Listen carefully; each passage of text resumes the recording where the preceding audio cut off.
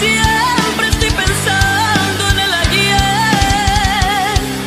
Prefiero estar dormida que despierta.